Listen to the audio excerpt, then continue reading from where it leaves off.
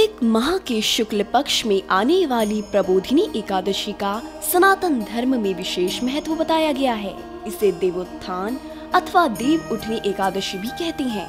यह वह दिन होता है जब अपनी शयन शैया पर निद्रा अवस्था में विराजमान भगवान श्री विष्णु जी चातुर्मास के पश्चात नींद से जगते हैं। इसलिए आज के शुभ दिन को देव उठनी अथवा देवोत्थान एकादशी के नाम से भी जाना जाता है। मान्यता अनुसार मनुष्य को जो फल एक हज़ार अश्वमेध और एक सौ राज सूर्य यज्ञों से मिलता है, वही प्रबोधिनी एकादशी से मिलता है।